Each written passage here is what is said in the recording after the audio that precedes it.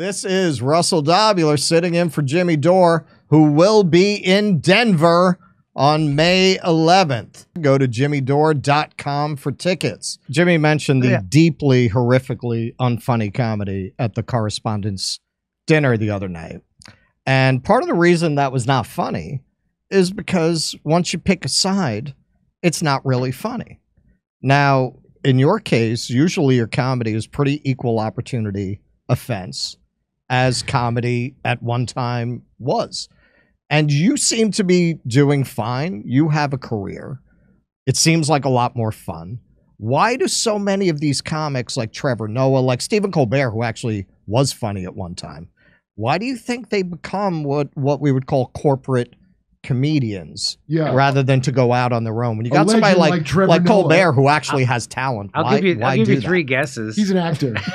Yeah. Well, what do you think, Ryan? Yeah, I mean, the there I, I think they're two separate things. The actual like gig of doing the correspondents dinner, I'm a little bit sympathetic to because I feel like that's a hard gig. it's like I the feel like ev- Awards. I, I feel like every year, like whoever does it goes, it gets like blasted. Like I, I feel like just like as a comedian, I feel like that's like somewhat of a hard gig. Like a bunch of stuffy politicians, and everyone's gonna be mad no matter what. You get punched by Uh, Will Smith, probably. yeah. On the other side of it, it was, uh, I mean, I think in order to sort of like stay truthful in comedy, it's like you do it small increments always, kind of like how getting, you know, staying in shape is not one day. It's like always a little bit pushing back against your audience or pushing back against what you're not supposed to say. It's not just like, I always kind of uh, look at like, you know, there, there's a sort of like guys who, you know, their girl bitches them around and they're, you know, and they're not allowed to go out with their friends. Not, and then they, they one day it's like, I'm putting my foot down. It's like, yeah, but really what you need to like sort of slowly be in control of your life. So I think that just always sort of accepting like what the status quo is and what you're supposed to say. And then it becomes like, if you ever go against that now, it's like this big stand that's a big deal. So I think that Right. it's like a slow thing that you kind of always have to be doing to sort of remain your like your brain's independence and freedom. Uh, Don't don't you find it? Uh, I, I find it. Uh, I don't, I don't know, shocking. I don't know what the right uh, adjective is for it. But whenever I would turn on a late night comedy show, they were all in lockstep.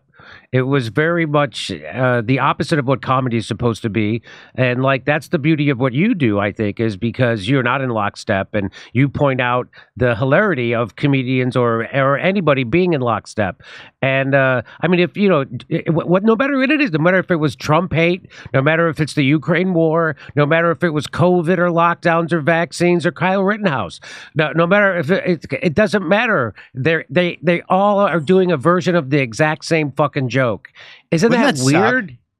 And also, wouldn't it suck like as a comedian? Imagine Right. like half of the stuff that you want that's funny, you're just like, well, I can't do that. That's because I'll be in lazy. trouble. Stop being lazy. Orange Man bad. Does uh, programming? Uh, my girlfriend was at the store yesterday, bought chicken, and she called it a he. Like I just put him in the bag. Of, oh, you just assume, and the, no, the guy wasn't calling her out in any way. He goes, oh, you just assume the gender of chicken, but it's like a reflex that you have to, you have to like react about someone assuming a gender. It's just like hiccups. Like you have to. They all hiccup the same. Been a few Like, days. oh, somebody's got the call outs. Nobody That's gives- not. You can't do. You know what the funny and Stef talks about this in her act is like, um, I've seen transgendered comedians all the time get on stage and uh, uh, and say, "Hey guys, how you doing?" Refer to the they completely misgender an entire room full of fucking people. They do it constantly. They call they they call women guys all the time. I Why is that the yeah. that's the acceptable misgendering? It should be. I'm not saying y'all. I say dude to women before any of because if you're if you're from an oppressed class, you can't be the oppressor. I, Oh, as that's a the sign idea? of I, respect. I, I'm pretty sure that's the That's idea. the idea. Listen, I always called everyone I don't dude and man, women especially, as a sign of respect. I call everyone Bud. You can't go wrong. Bud, Oh, yeah. How you doing there, Bud? Yeah. Hey, come see us do a live show. We're going to be in Denver, Colorado, May 11th, Los Angeles, California, doing a live panel show with a celebrity panel and video. Ashland, Virginia, Athens, Georgia, Rutherford, New Jersey, with Max Blumenthal, Minneapolis, Minnesota, Ontario, California, Irvine, California, Chicago, Illinois, with another celebrity panel, live video show in Chicago, and Grand Rapids, Michigan. Go to jimmydore.com for a link for tickets. jimmydore.com for a link for tickets.